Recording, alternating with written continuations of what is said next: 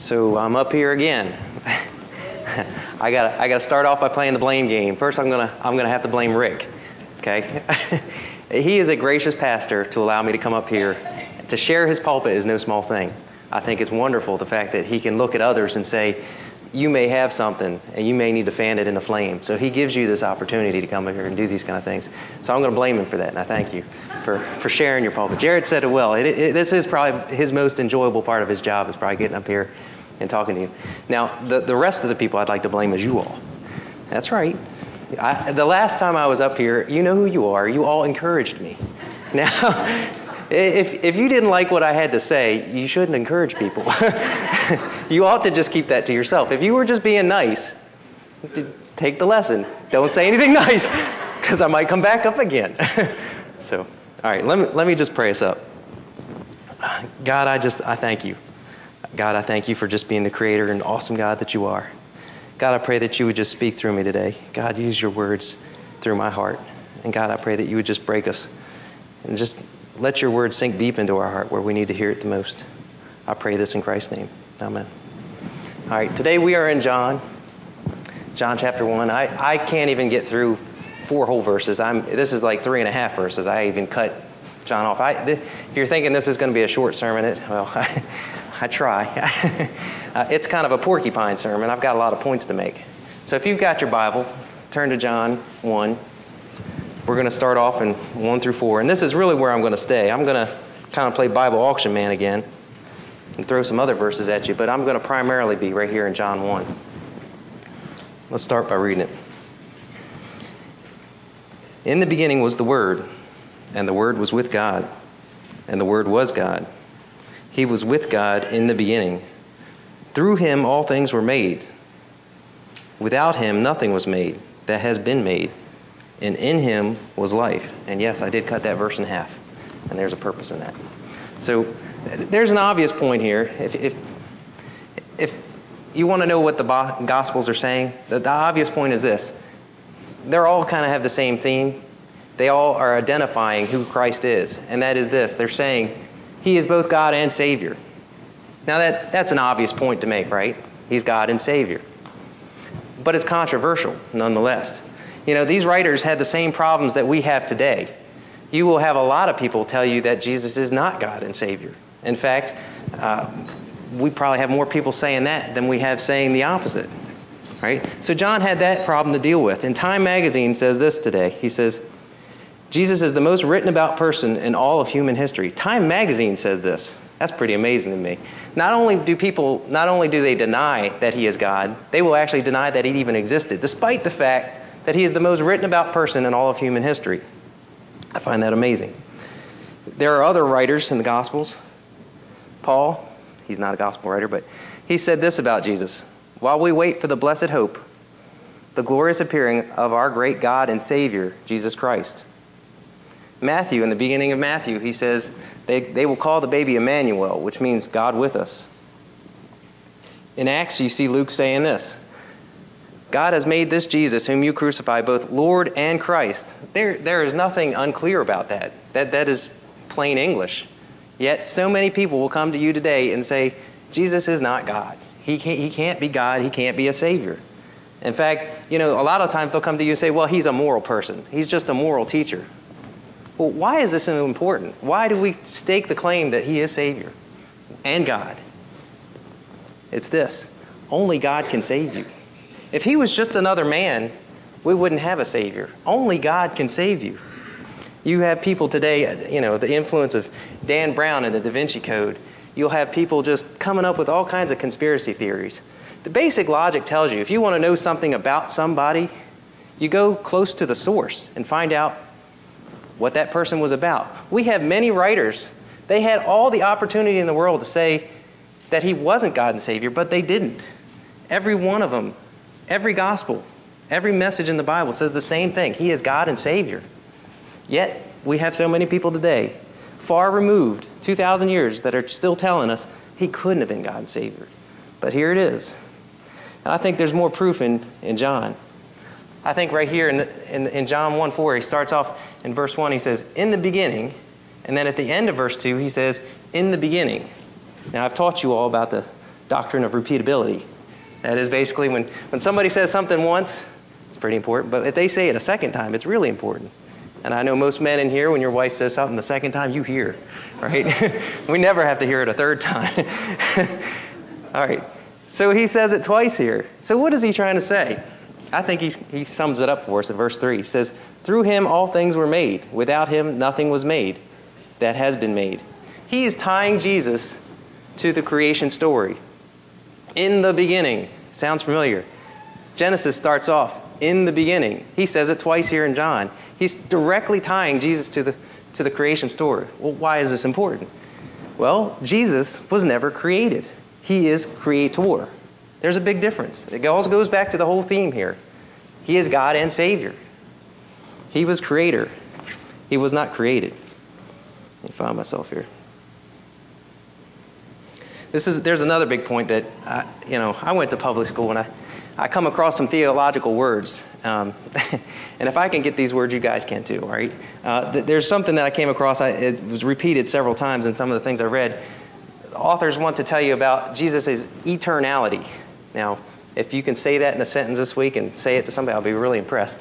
Basically, what that eternality, Jesus' eternality is this He always existed, He is pre existent. He always was wasing. Let me say that again in case I lost you. He always was wasing. Uh, now, it's bad grammar, but it's good theology. There was never a time that Jesus did not exist. He always existed. Another point about this is all things were made through him. There is nothing you can smell, taste, touch, or see that Jesus didn't have a part in creating. That's pretty powerful. That's pretty amazing. Jesus even backed John up on this statement. He said, he was talking to a bunch of religious leaders, and he said to them, Before Abraham was born, I am. Before Abraham was born, he even speaks to his eternality. He says it right to him. And then a lot of, a lot of people question, they say, well, what did, what did Jesus do before the creation of the world? What was he doing? And I came across a quote I thought was kind of funny. Augustine used to say, well, he was creating a hell for people that would ask, ask such questions. But I thought that was funny. But uh, we know a little bit of what he was doing because this verse tells us here. Uh, Jesus' words, he says this He says, Now, now, Father, glorify me in your presence with the glory I had with you before the world began. Again, before the world began, what was Jesus doing? He was sharing in his Father's glory. There was perfect fellowship and perfect relationship in the Trinity before the world began. That's one thing we know he was doing before the creation of the world. This brings me to another point that I think John is trying to make here. The Word was with God, and the Word was God. Now, how can you be with something and be that something at the same time? Well, this is another big theological term. It's called the Trinity and everybody's heard it. Now, if you can't understand this, you're in good company. uh, many Christians stumble with this. I, I think Charles Spurgeon said it well once. He said, If you deny the Trinity, you lose your soul. If you try to explain it, you lose your mind. so I, am not going to try to explain it today. I, it's really not the point of my sermon. But it, it, is, it backs up the proof that God, Jesus is both God and Savior. It's not a new idea. If you look in Genesis, let us make God, or let, sorry, let us make man in our own image. Who's us? Who's our? That's the Trinity. John's not introducing a new doctrine when he says he was with God and was God. It's a doctrine that's been here for a long time. That second part of that statement, the word was God. That's another theological term. I can't escape these theological terms. I'm going to preach on John. I got to got to bring up big words that, that are hard to understand. This talks about his incarnation. And I, have heard somebody preach this once or explain this once to kids, and I thought it was kind of funny. He said, The incarnation, you got to think about it like chili. He says that, you know, there's regular chili, and then there's chili con carne. And everybody knows chili con carne is with chili with meat. Now, there's regular chili, which, you know, it's okay, but then there's chili con carne with meat. And every man going to heaven likes meat, right? Yeah. so there's something that you can't reveal with the regular chili that the, the chili with meat can reveal. There's something special. This is redneck theology, in case you're wondering. basically, what he's saying is the incarnation, John says, this is God with meat, or God in the flesh. And again, it goes back why is this important? Why do we care? Because again, only God can save you. If he was just another man, if he was just another moral person, there's no salvation in this. It's very important. We have to identify and realize that he is both God and Savior. This is really the heart of my sermon. In the beginning was the Word. He says this three times in John. Now, you can find seminary papers miles long about the Word. The Word is, this phrase is just all over the place. If you go on the internet, this is just a very talked about topic, just two simple words, the Word. Um, I'm going to kind of give you the, I guess, what the expert opinions are, and then I'm going to get dangerous and kind of give you my opinion. Um, the Word this is, this is not part of the sermon.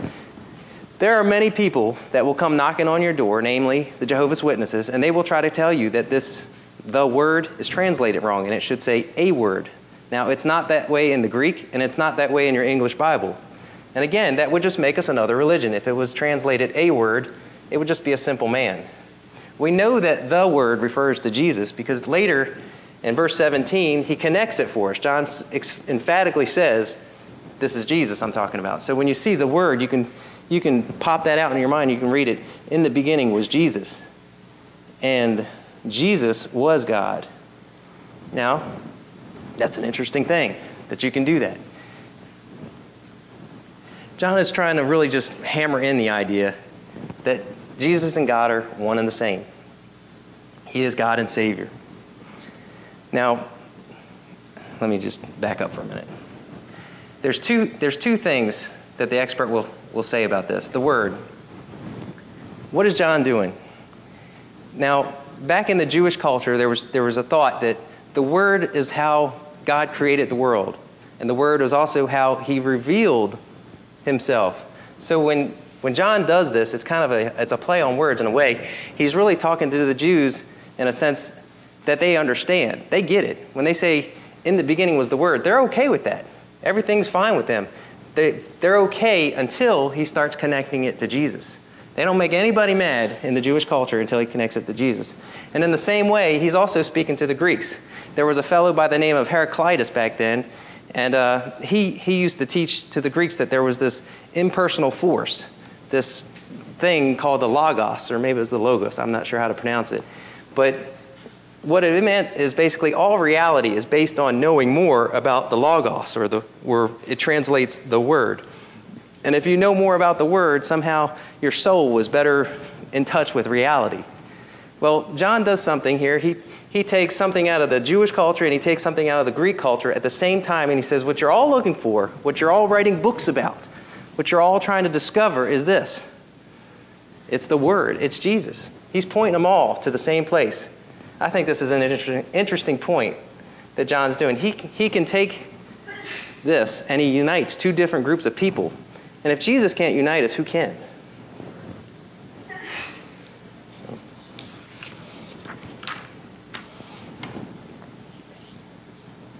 so, there's other things that you might find interesting about the word. In our culture, it's very important to us to have words. This is, I'm getting into my opinion now. I'm we've left the experts now. We're, we're getting dangerous. When you look around in our culture, we do things like we get married, we exchange wedding vows. We use words to exchange our vows. When we elect a president, we have a swearing in. When somebody joins the military, we have a swearing in. When lawyers become lawyers, they have an oath they have to take. Doctors, they take a Hippocratic oath. Kids, we start them off in school with the Pledge of Allegiance. We use words to signify very special or important events in our life words have a very special and important place in our culture. Some of the most famous words, we live so close to Washington, D.C., I, I think it's really great that we can go down to D.C. and we can find words that have been spoken throughout history. And most of you recognize words. And I, for example, this ask not what your country can do for you, but what you can do for your country. Who is that? Wow, that's a great audience. That's right, John F. Kennedy. These were, everybody knows these words. It's, it's like it, it took a life of its own when he said them. What about this? Never in the field of human conflict was so much owed by so many to so few. A little bit tougher. Anybody know who that is? Winston Churchill. But you've probably heard it. You probably just didn't know who it was. All right. Democracy is the government of the people, by the people, for the people. Abraham Lincoln, that's right. Abraham Lincoln. All right. All right. Early to bed, early to rise makes a man healthy, wealthy, and wise. Benjamin Franklin. Or Winnie the Pooh if you're in my house. it's a hotly contested subject in our house, so who said it first? We're not really sure. Uh, so words play a very important part. You, you, can see by this example that, you know, words are something we remember. They, they stick with us. They, they live and have a life of their own. They influence cultures. They influence governments. They influence how we do things. We signify special events with how we use them. So when John says Jesus is the Word, I think it's very important. I think he's really trying to say something to us. All right. So this brings me to a point where I just really got to studying hard. I really got to wondering, you know, a well placed word can have such a significance in somebody's life. Well, what about the opposite of a not so well placed word?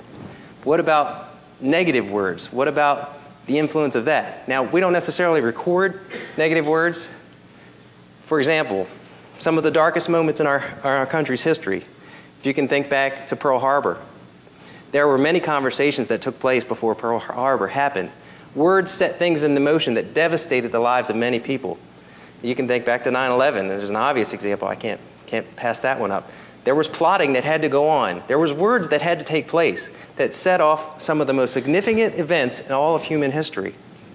Well, I think the worst words I think you could ever find and the most devastating words are actually written in the Bible.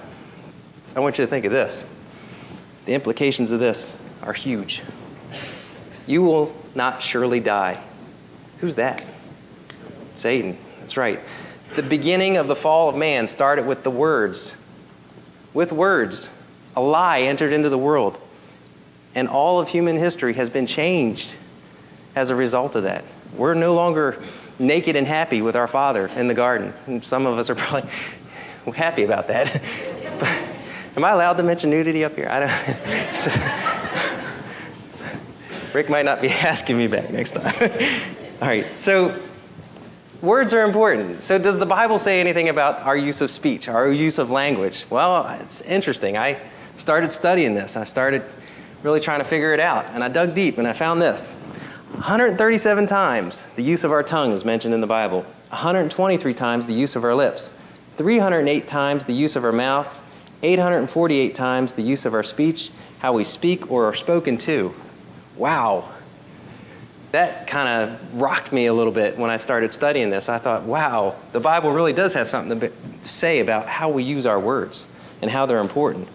I mean, that's phenomenal. And I started thinking about the fact that even in our salvation process, what do we do when we have kids here for VBS and Awanas?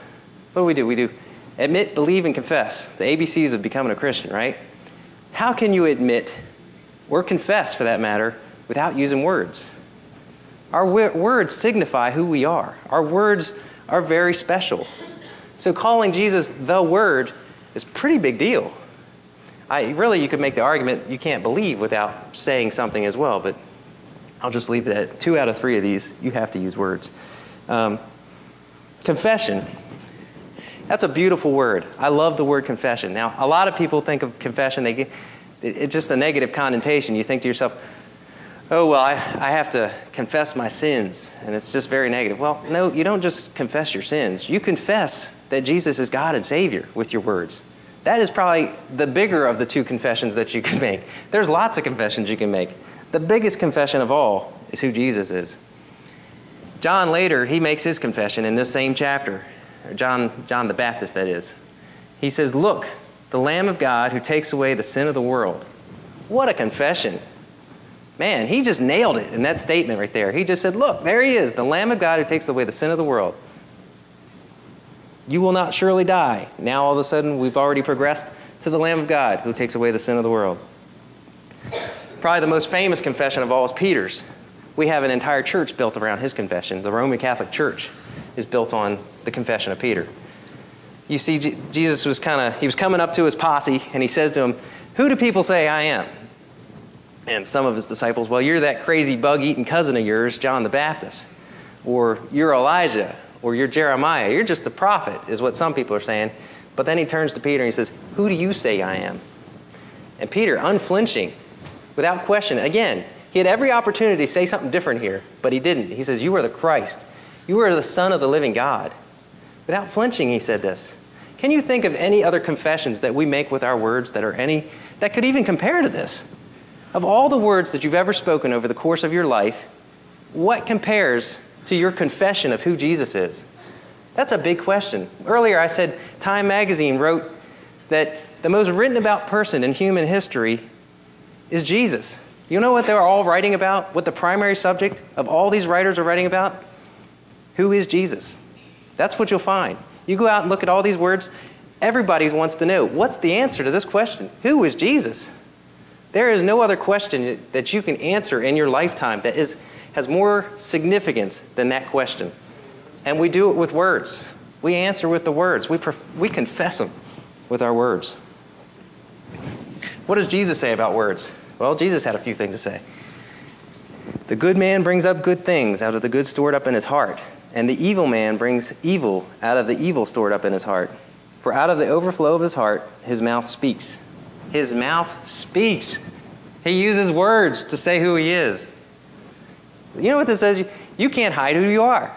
Your words eventually are going to give away who you are.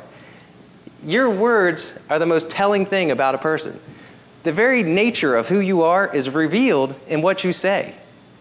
So you think you can hide behind all these layers of something, but you're not.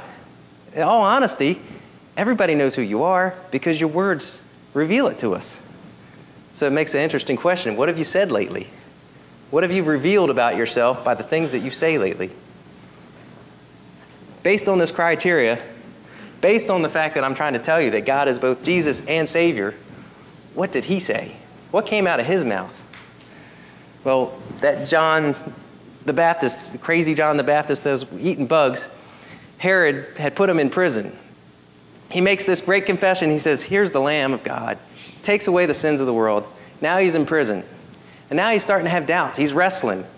And he, maybe he's running out of bugs to eat in prison, and Herod's not treating him too nice. And he sends his disciples out. He says, Go ask Jesus. Go ask him. Is he the one, or, or should we be waiting for another? I'm, I'm really not sure. I'm in prison now, and I'm running out of bugs to eat. So, this is what Jesus says back to him. He says, Report to John what you hear and see. The blind receive sight, the lame walk, those who have leprosy are cured, the deaf hear, the dead are raised, and the good news is preached to the poor. What did Jesus do? He raised the dead with his, with his words. He spoke and people came out of the grave. Man, I wish I could have been there for that. Wow, that would have been something. I'd, I just once I'd like to go to a funeral and walk out with the person that we went to go pay respects to and see him come with us. I mean, that would just, that would turn your world upside down, wouldn't it? But there's a big point that I think he's trying to make. Jesus' words bring life. What are our words doing? Do we bring life with our words? Do we raise the dead with our words? Are we are we bringing life? Or are we destroying it by the things that we say? Very important question. This is, this is really the point of the, the last part of John here. I'm, in him was life. We have to have new life with him. We have to have words that have life. I want you to think with me for a minute at the Great Commission. Jesus is about to leave the earth for the he's done. He's he's come, he's done his job, he saved us. And now he's leaving his disciples and he leaves these words. These are the last words he speaks to them. He says, Then Jesus came to them and he said, All authority in heaven and on earth has been given to me. Therefore, go and make disciples of all nations, baptizing them in the name of the Father, and of the Son, and of the Holy Spirit, and teaching them to obey everything I have commanded to you. And surely I am with you to the very end of the age. How do you teach? How do you make disciples without using words?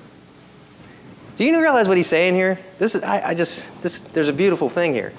Not only does he command us to go and make disciples and teach them, he invites us to do it. He gives us permission. He's sharing this with us. That's a pretty big thing. Can you think of a time when you were young and your father or your dad, some of us may not have had a good dad that would do this, but uh, you can think of a time when you were young and your dad would let you be with him on a project and you got to do something with him. How cool was that to be with your dad and to be a part of what he was doing? Ingrid always shared this story with me when we were dating. When she was a little girl, her dad would pull up into the cul-de-sac and he was getting home from work and he'd open the door and she'd hop in and she'd get on his lap and she'd steer the car back into the driveway. And now her feet couldn't reach the pedals or anything, but you know, that just had to be the best feeling. You get to share something with your dad. This is what he's doing here in the Great Commission. He's giving you the permission, he's giving you the honor, the privilege to share in life changing work. You get to go out and actually share with people who Jesus is. He could have done it himself, but he didn't. He allowed us to be a part of this. How great is that? To be sharing something with your dad. But some of us, some of us are scared to get in the car and let sit on dad's lap and steer the car. Some of us, we start coming up with excuses of why we don't do this. Some of us say, well, well I'm a man of action. Actions speak louder than words, right? I really question this statement. I, I, sincerely, in some context, yes, I agree. Actions do speak louder than words. In the sense that when I ask my kids to do something and they obey me without any words, wow, it pleases me. I mean, how many parents can relate to that?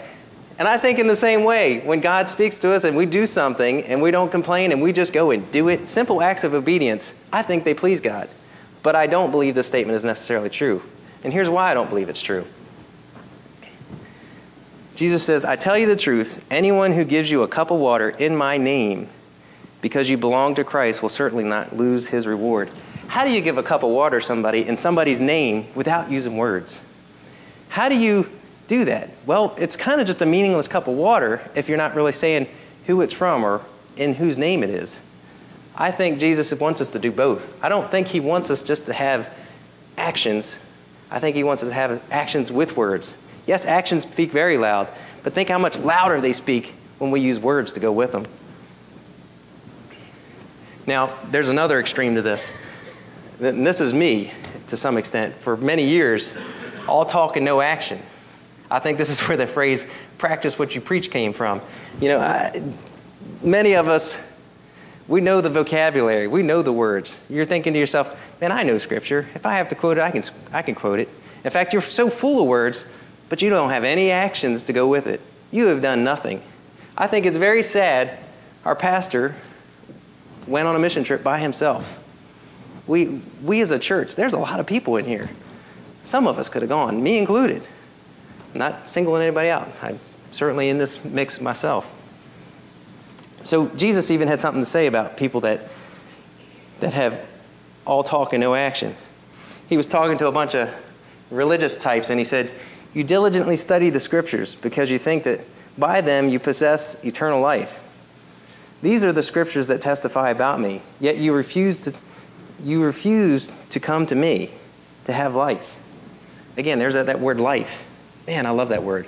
You got to have new life. You think that by knowing the scriptures, it's going to save you. Jesus didn't ask you to come to a book, He asked you to come to a person. It's a big difference. Some of us have the vocabulary, but we have no action to go with it. Some of us are missing the point. He wants us to have new life. I'm looking at the baby, Jarrett and Aaron just had their baby Friday night.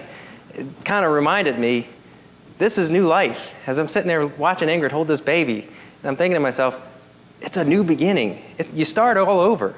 That's what new life is like. You can't have the words without starting over by putting away the old self and putting on the new self. You got to have new life. Jesus wants you to come to Him and have new life, and not just words.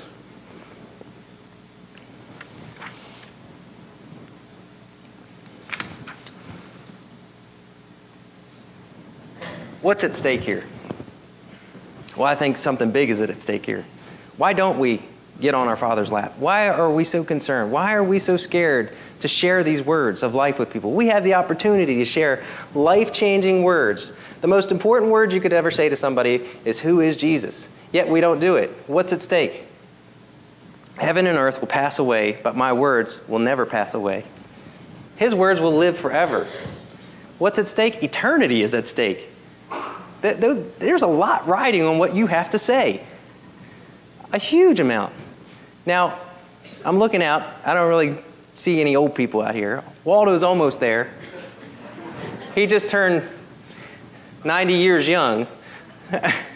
He's but when you get old, if theoretically we ever had old people in this, this congregation, old people have the most influence, I think, in my opinion, than anyone else. You may think that young people aren't listening to you, but I think they are. I think you have the words that can change the lives the most. You are sitting in, the, in a position of power with your age.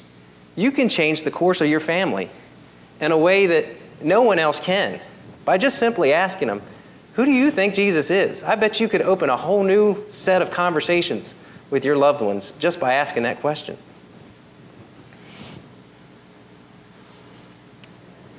We need to get into the battle. Too many of us are leaving the battlefield. We're not brave. We just, we're too concerned. We're too scared to sit and steer the car with our dad. But Jesus says this in Corinthians, or Paul says this in Corinthians, sorry. The weapons we fight with are not the weapons of the world. On the contrary, they have divine power to demolish strongholds. We demolish arguments and every pretension that sets itself up against the knowledge of God. How do you demolish an argument without words? Smith and Wesson? I'd love to do that, but that's not what it says. It says those aren't our weapons. The weapons are our words. What we say to somebody matters. It's very important. We can demolish arguments. And who do we demolish against? It says, against the knowledge, or those who set themselves up against the knowledge of God. Does anybody fit that category in your mind? Do you know anybody that sets themselves up and who's so opposed to God? I bet everybody. I bet you got people in your family that are opposed to God. What do you use? Words. We go into battle. Too many of us have left the battle. Some of us didn't even get into the battlefield. We're just giving up ground to the enemy. We're just letting him take it without even, not even a word. We're walking off the battlefield. Some of us need to get back into the battle. Some of us need to take these words. We need to start taking back ground. Today, go back to the enemy. Take back some of the ground he's taken. It's not his.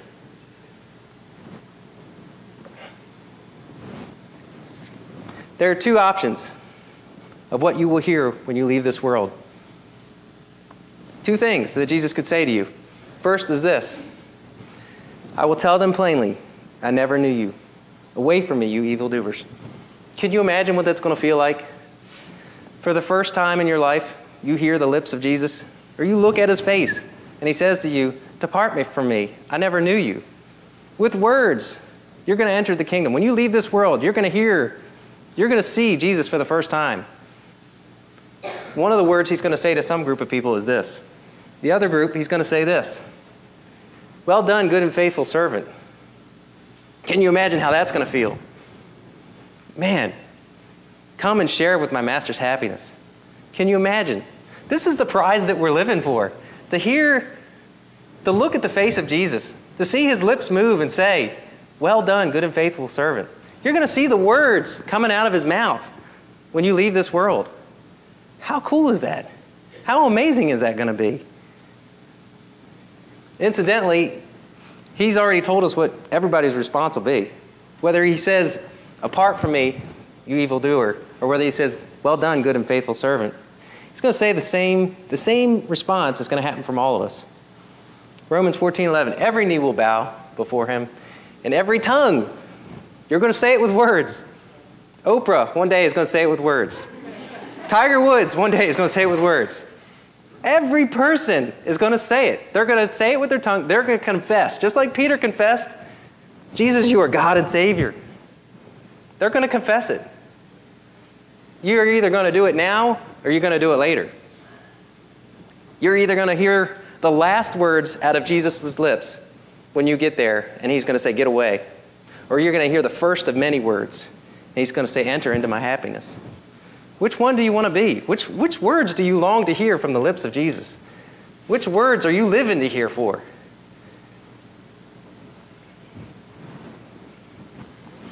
Now, I may have stirred some of you up a little bit this morning. I may have gotten you to the point where you've said, said to yourself, Well, I've never made that confession in my life. I've, I, I don't know what you're talking about.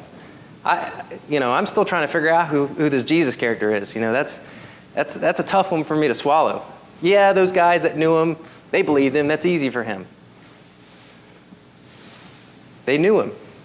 It was easier for them, but yet they still had to face the challenge. They still had to look people in the eye and say, without flinching, this is Christ. This is God the Savior.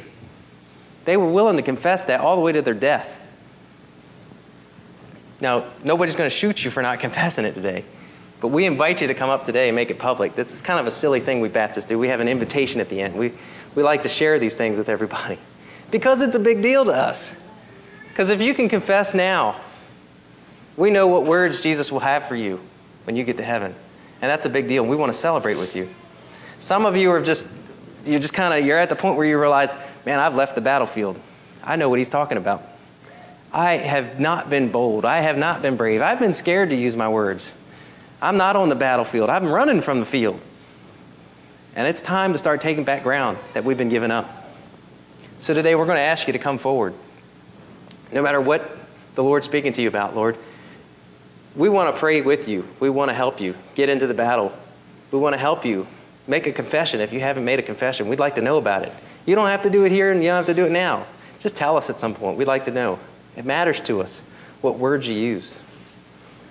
I'm going to pray for us. Father, I, I just. I just pray that these words sink deep in our heart. God, even, even in my soul right now, Lord, I know I, I rarely live there. God, I want to be sitting in your lap, steering the car with you. God, I want to share in this experience of changing people's lives giving them words that, that, that will change them forever. God, that the, this is the most important thing I could ever do in my life, but yet I shy away from it. God, make me, use me, prepare me to be somebody that can go out into the battlefield and not be scared to run. Lord, I pray this in your name. Amen.